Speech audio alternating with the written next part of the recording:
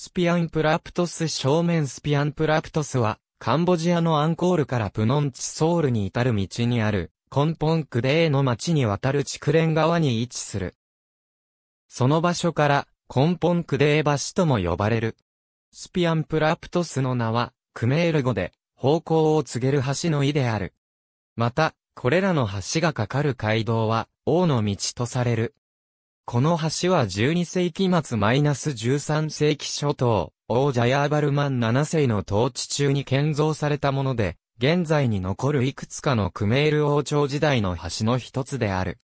1964年、当時のフランスによる国道6号線の再建に伴い補強修復された。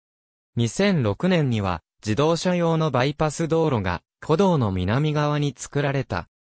スピアンプラプトスの橋脚延長87メートル、幅17メートルという大規模な持ち送りアーチの石橋であり、高さは約10メートルで21の狭いアーチを備える。橋脚間の開口部の幅は約2メートル、橋脚の幅は約1.5メートル。欄干の両側には、それぞれ約2メートルの大きさの9つの頭を持つナーガの彫刻がある。この開口部の狭い構造については、灌漑用の貯水池とされるバライに代わり、ダムとして流れをせき止めるためという説もある。